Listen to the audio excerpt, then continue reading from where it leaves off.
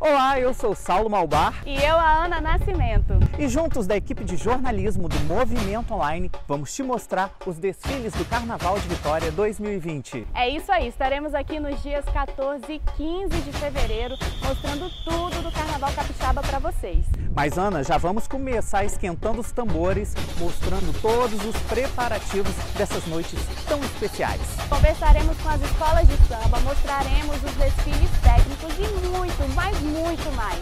E a gente te espera no www.movimentoonline.com.br ou nas nossas redes sociais, viu? Bora começar? Bora trabalhar! Vamos! Te esperamos!